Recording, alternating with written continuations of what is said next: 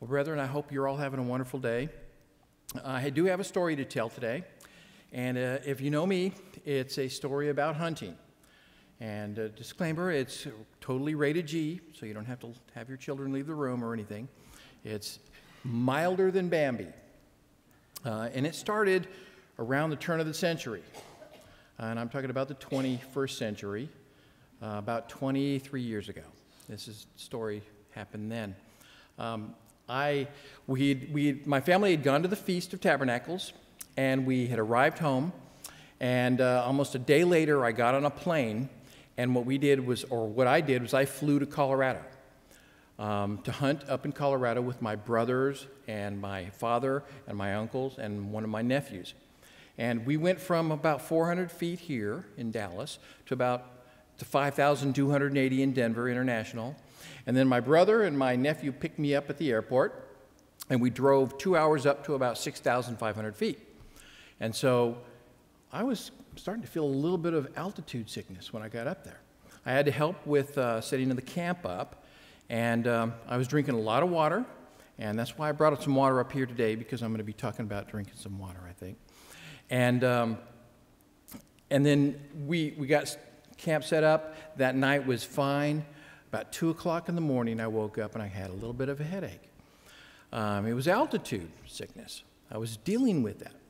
And I was drinking a lot of water. I was um, feeling that effects of the altitude. And then about 4 o'clock rolls around, and it's time to get up, get ready for hunting. So what we did was we, I got all my stuff ready. Uh, I got with my brother, my younger brother and his son, and we started up the mountain. So we are we're traveling up the mountain, and I get about a quarter of the way up, and I am starting to really puff hard. I can't breathe. I, I'm drinking all of my water. And at this time in my life, I was running about two miles a day. I thought I was in really good shape, and I thought I was going to die. I thought it was just too much for me. And so, on and on, about every 100 yards, I'd have to stop, get my breath, take a drink of water and we'd do some more. We, we finally got up to the top of the mountain, and this is all before the sun came up. We found a nice spot to sit down to kind of watch over this big old hayfield that was sitting up there. And uh, I think I might have dozed off, you know, a little bit just before the sun came up because you can't do anything anyways. And so we, we sat there until about 9.30 in the morning. Nothing. It was just a nice, peaceful day up in, in a hayfield up in the mountains. And um, I told my brother, you know, the best way I think to get over this altitude sickness is to um, do some more exercise and, uh, you know, kind of work it out. And I said, I'm going to walk across the hayfield and we're going to walk down the other side, or I'm going to do that. And he said, Well, I don't want to do that. I don't want to do that. I'll just stay here. But my nephew said, I'll go with you. And I said, All right, let's go. So we walked across that hayfield, down the other side of the mountain, which was about another three quarters of a mile down to the other side of the mountain. So we get down there, and we're looking over a nice field with some trees, and we're sitting down there, and um, time passes by, and nothing happens. We see nothing but birds and squirrels and chipmunks. And then it was about 11:30. I heard something coming down the mountain, and um, it was a little, a little engine. And, and I knew who it was. My father was coming down the side of the mountain, and he was riding a Honda ATV, or ATC. And if you know what that is, it's a three-wheeled, you know, hazardous material, you know, vehicle. Uh, one of the most unstable vehicles Honda ever made. But he's still riding it. He's coming down that hill, he's putting, he's going, and he comes right up and he stops right in front of us Asks us what we're doing and how we're doing, and did you see anything? And we said no. And, and he said, well, that's too bad. And uh, then he starts to chide us about how smart he was that he was riding that three wheeled vehicle. That, you know, if I, you guys are, you know, you had to walk all the way down here. Why didn't you think about getting this thing? And he just kept on and on about, you know, really how, you know, it really been a smart thing if you'd have thought about this earlier. And, and then when he was fun, tired of doing that, he got back on the vehicle and he headed back up the mountain, and he left us there. So, so we waited about another 30 minutes, and I, I told my nephew, All right, let's go back. We got a long walk ahead of us. And uh, I got my canteen, and I got a drink out of my canteen, and there was probably about I'd say about a cup left in my canteen. It was a quart canteen. And just as I'm putting this thing up to my mouth, my nephew said, Hey, can I have a drink? And I go, uh, Well, where's your water? And he said, Well, I drank it all on the top of the mountain. So I gave him a drink, and he took a really big, you know, drink. It's kind of like my wife says, a daddy drink. You know, a little water splashing off his face. And he gave it back to me, and I, had the, I basically emptied the rest of it out. So we, I slung my rifle, and we started walking back up the hill. And again, about every hundred yards, I'm having to stop and breathe. But now I had no water. And so we were walking, doing the same thing. My nephew kept talking to me. He kept asking me questions about hunting and different things. And I, I would stop and I would tell him what the answer was. And then we'd start to walk again. We got about halfway up the mountain, and uh, I just stopped after a question he asked, and I said, We can either walk or we can talk, but I can't do both. and I turned, and you know, we're sitting there resting now, and I looked up the trail, this Jeep trail, and I saw something. I saw something sitting in the center of the road.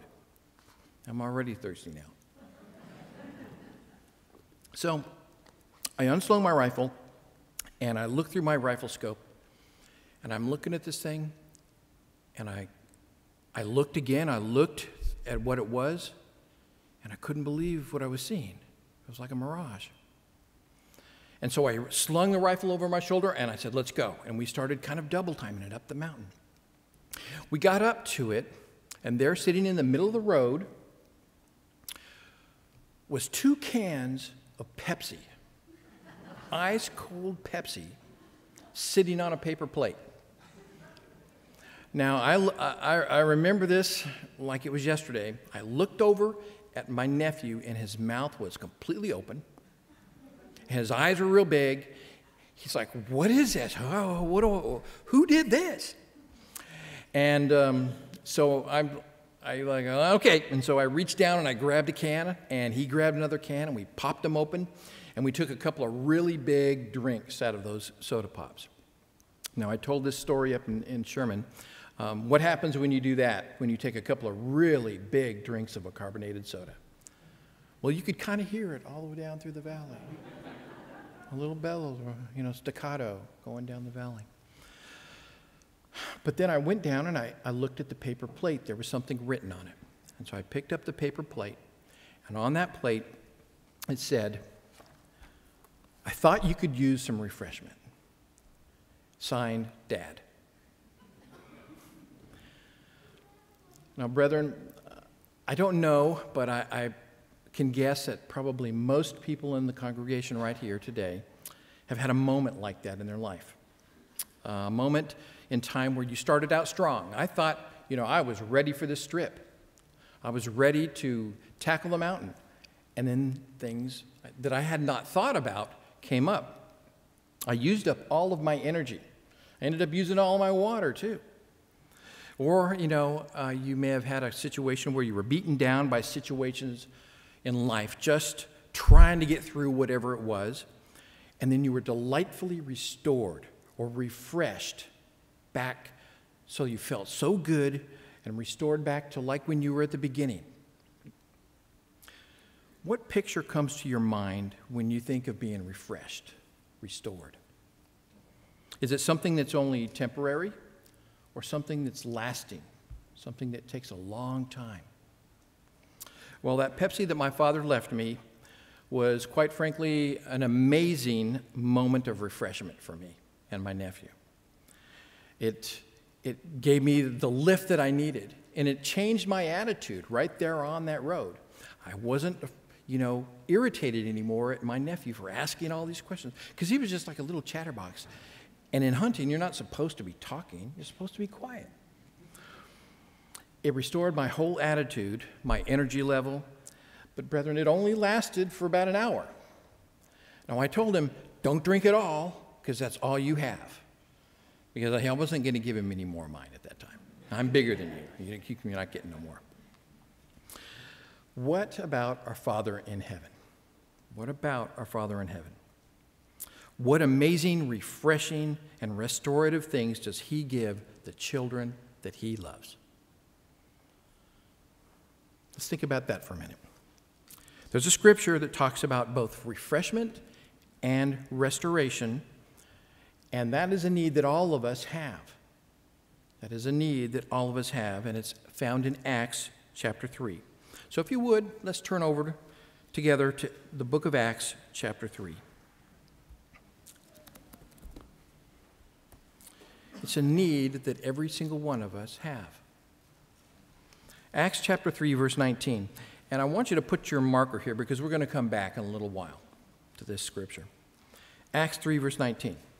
We read, Repent, therefore, and be converted, that your sins may be blotted out, so that the times of refreshing may come from the presence of the Lord.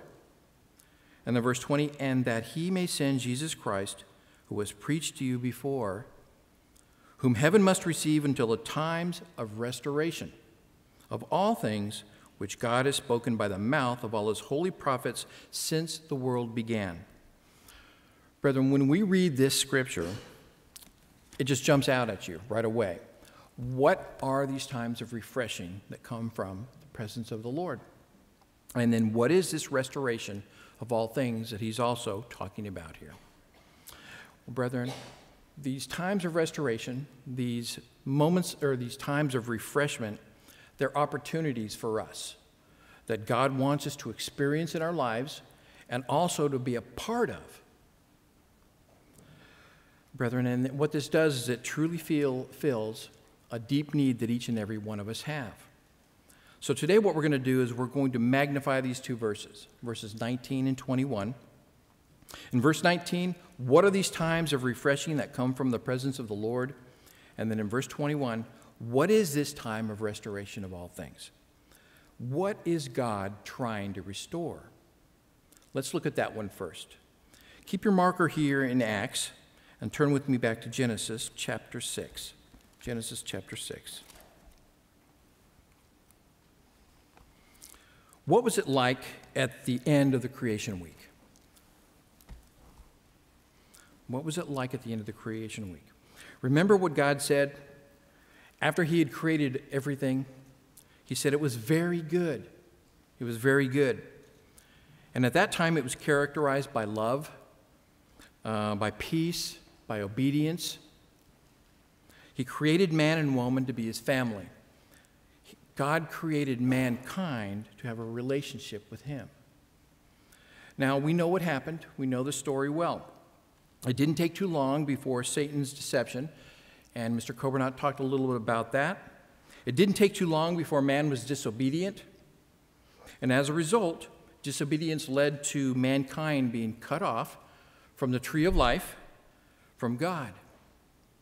You know, in fact, it degenerated so far that by the time you get to Genesis 6, we see the tragic results in verse 5. And so let's go there. Genesis 6 and verse 5. And we read, the Lord saw that the wickedness of man was great in the earth, and that every intent of the thoughts of his heart was only evil continually. What we have here is a broken relationship. There was a time when the relationship between God and man was good, was very good. But now it's broken. You see, that's describing a, a very broken or dysfunctional relationship between God and mankind. The children that he created to have a loving relationship with him is now broken. You know, that is the world around us now. It's not too hard to see, it's everywhere we go. And that this has continued all the way down to today, this very day. Death, sin, and wickedness have spread to all mankind. But we also know, brethren, that God has a solution. He has a solution to this. God's plan is a plan of restoration. It's a plan to repair things. It's a plan to restore the broken relationship that he had, he has with his children.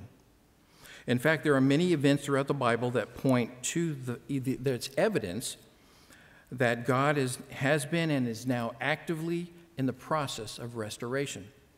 So, what we're going to do is today, to start off, we are going to I'm going to give you three events of God reaching out to his children to restore his children back to him.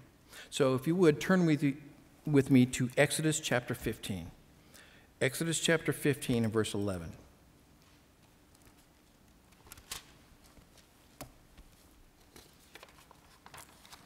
Let's, let's go back to the time of the children of Israel, when Israel itself was restored. No, so here, the children of Israel, we know the story again. Joseph um, was sold into slavery. He uh, rises to the most important office in the land.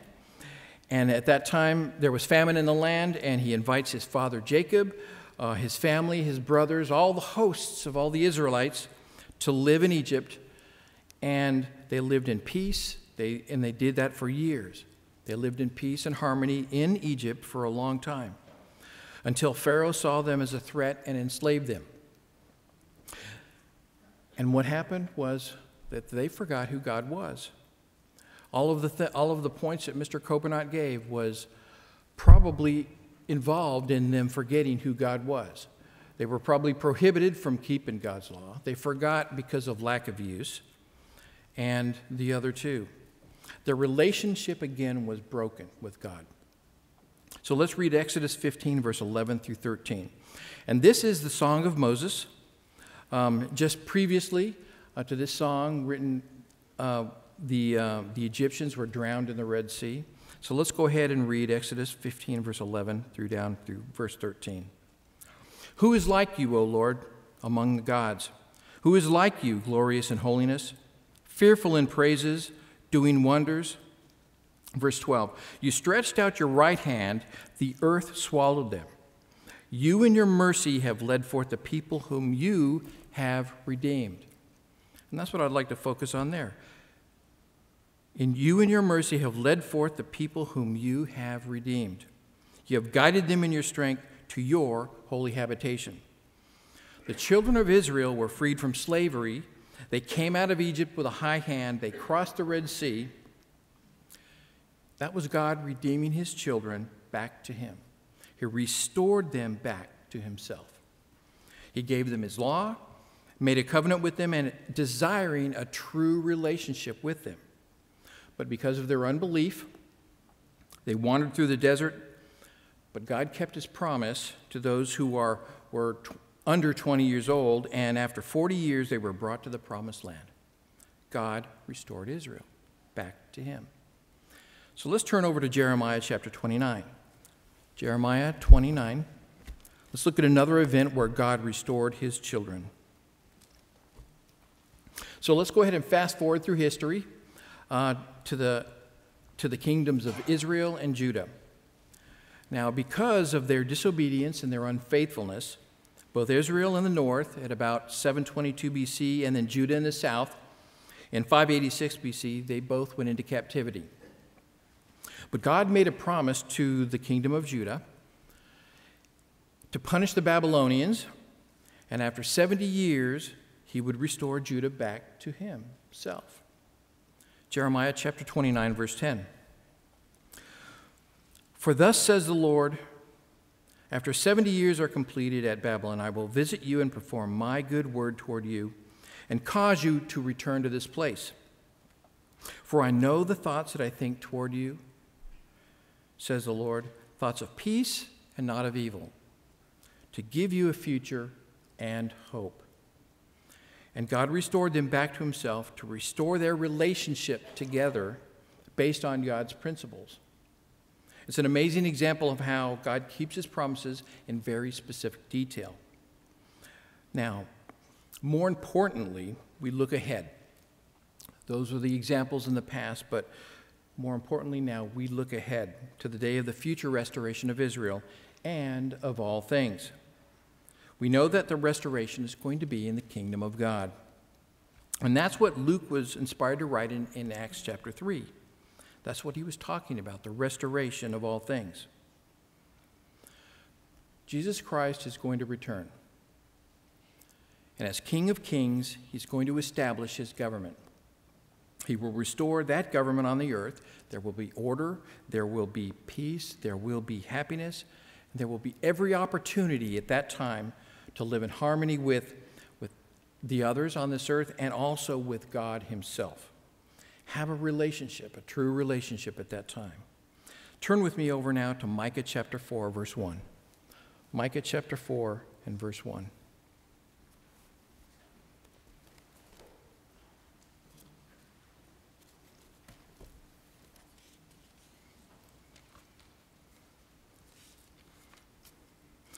Now let's look at another event where God restored his children.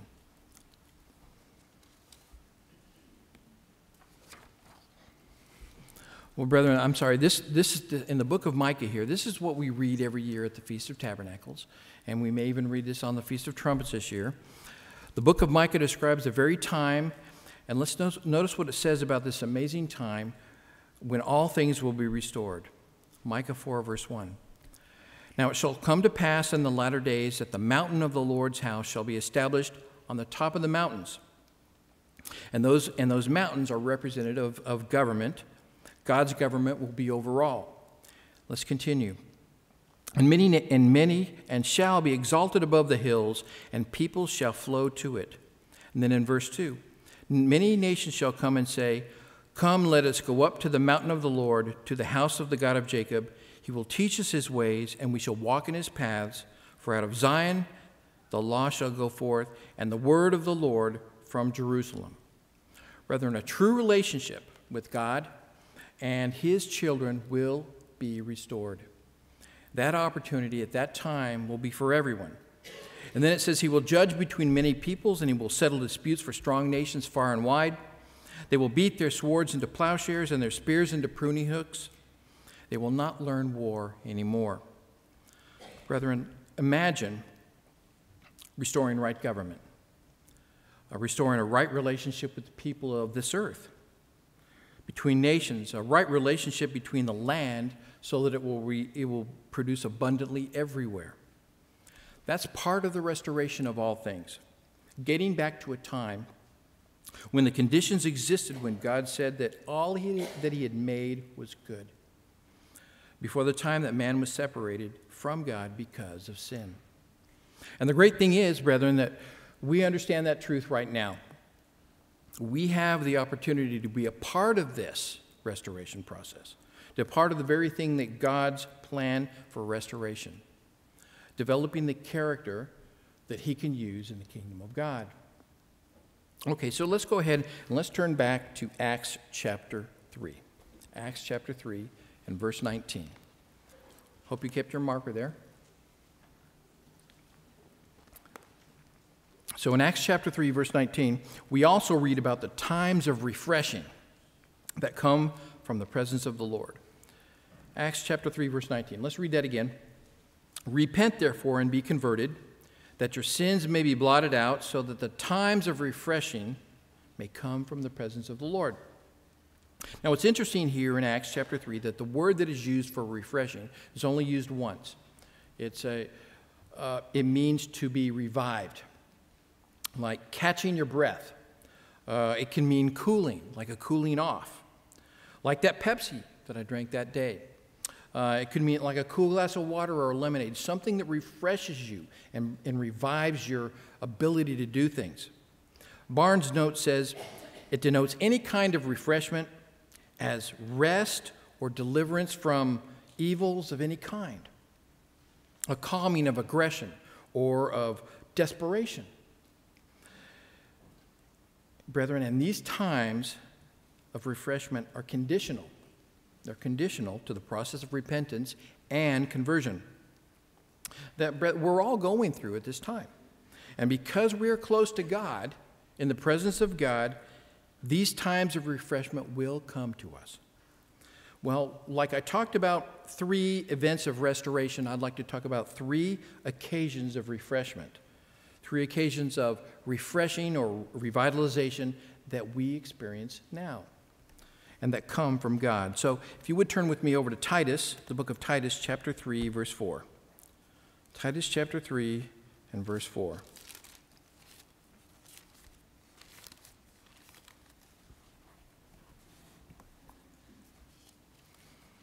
three occasions. This is the first event or occasion of refreshment. Titus chapter 3, verse 4. One of the occasions, brethren, of refreshing is at baptism. Repentance and baptism and receiving of the Holy Spirit. And that's almost exactly what it says in, in, in uh, Acts 3, verse 19. Repent and be converted, that your sins may be blotted out. Well, over in Titus chapter 3, it expands on that thought. Titus 3, verse 4. But when the kindness of the love of our love our God, I'm sorry, but when the kindness and the love of God, our Savior toward man appeared, not by works of righteousness which we have done, but according to his mercy he saved us through the washing of regeneration and renewing of the Holy Spirit, whom he poured out on us abundantly through Jesus Christ our Savior. And then in verse 7, that having been justified by his grace, we should become heirs according to the hope of eternal life. Well, brethren, what is this time of washing and regeneration and renewing?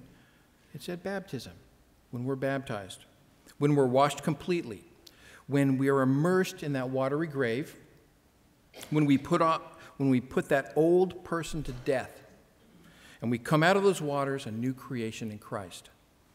It points to the, that very time of repentance and baptism as a time of refreshing, a refreshment that comes from God, where we get rid of that old sinful self and we put on Christ. And what a challenge that is for each and every one of us when that happens. Not just to put on a little bit of Jesus Christ, but to be totally and completely refreshed. You know, as we think about our lives as Christians, what we do on a daily basis, every day of our life. How much are we refreshed in our approach to living like Christ? I mean, when we think about all the responsibilities that we have in this life, being a husband or a wife, um, our work life, our jobs, um, students in school, you know, and on and on. All of the things that, all of the hats that we put on. Now, with all of those responsibilities, do we have a tendency to imagine any one of those that God is not a part of? If we fall into that way of looking at our relationship with God, that's a problem. That's a big problem. It's not acceptable to God. God doesn't want to be just another relationship in our life. He wants to be at the center and the foundation of every relationship that we have. At baptism, we, made, we dedicate our life to God. And so, where is God in our life? Have we taken the refreshment of repentance and, you know, and baptism, not just delegate a part of our life that way, but really take to heart Acts chapter 3, verse 19, and make him our life? God is our life. Christianity isn't something that just costs a little bit, it costs our entire life. And so we can have a new life. Um, we can have that refreshment. We can have renewal as we, we repent and are baptized and receive God's Holy Spirit. That certainly is a time of refreshment. Let's turn back now to Exodus chapter 31. Exodus chapter 31, verse 16. A second occasion of refreshment, and that is honoring God on his Sabbath day. Exodus 31, verse 16.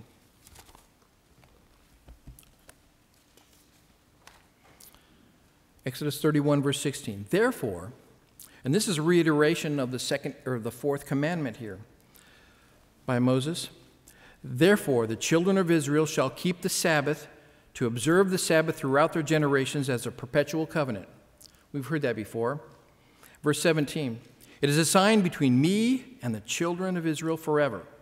For in six days the Lord made the heavens and the earth, and on the seventh day he rested and was refreshed. God was refreshed.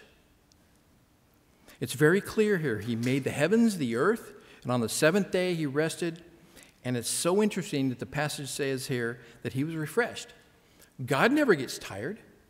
What was he refreshed by? You know, it, it, he said it was very good. Well, brethren, God made the Sabbath for you and for me. In Genesis 2, verse 3, God blessed the seventh day and he sanctified it. He sanctified it, he set it apart for a holy purpose. So, as we emulate God by resting on the Sabbath day, we can be refreshed also. Physical rest on the Sabbath, what that does is it refreshes our bodies. And we all understand that. But He sanctified, God sanctified it for us to draw close to Him. That's where the refreshment comes from.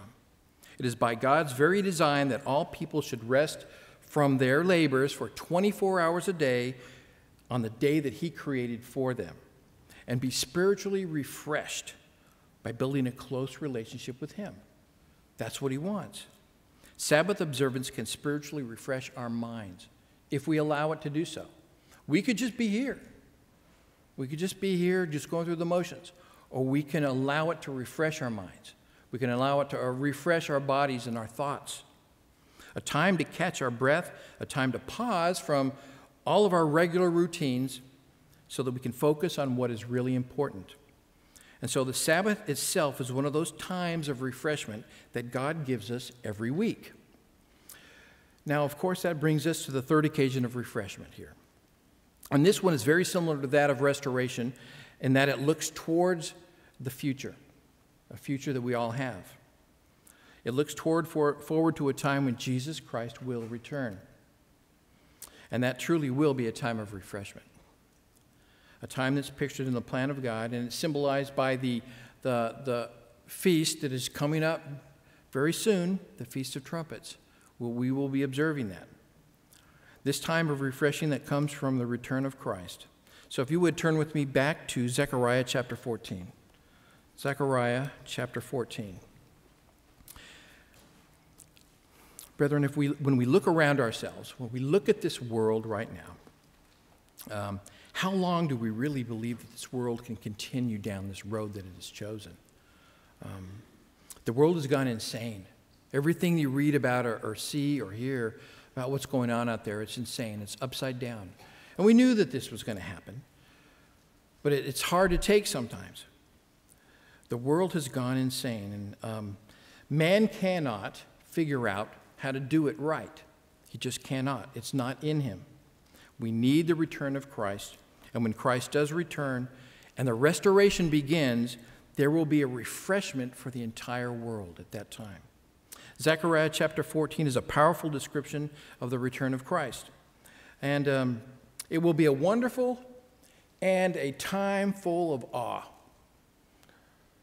And what I mean by that is we use the word awesome to mean something that's good today. But in the 16th century, if you'd have said awesome, the word would have meant that is a thing that sends shivers down my spine. So it will be wonderful when he returns back on the Mount of Olives. But at, there will be shaking of boots. People will be hiding, they will be fighting. He will touch down on the Mount of Olives, and it will be a wonderful thing and also an awesome thing. Zechariah chapter 14, verse 8. Let's go ahead and read this. And in that day it shall be that the living waters shall flow from Jerusalem, half of them towards the eastern sea, and half of them towards the western sea.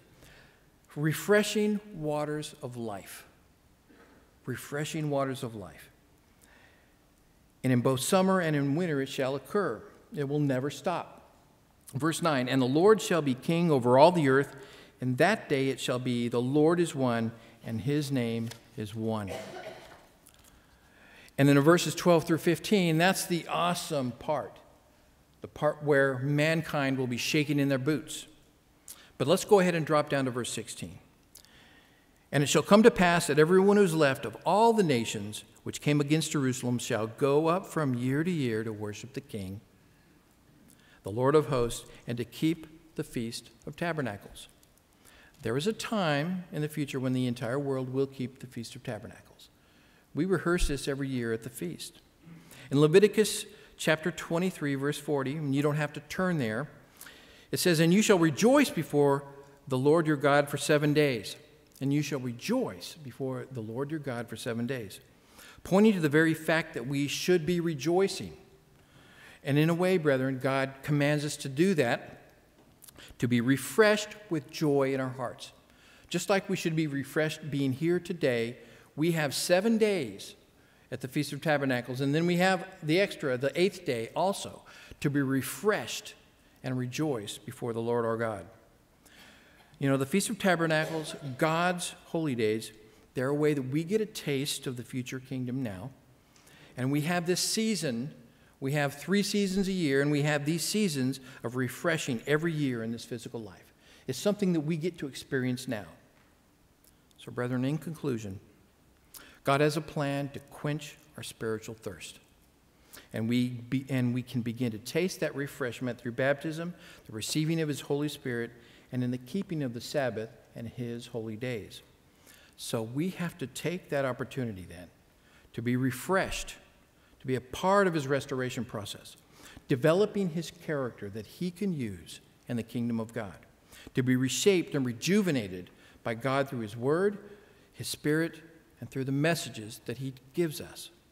So, brethren, take that opportunity to honor Him on the Sabbath and His feasts, and take that wonderful drink of refreshment that comes from our great God.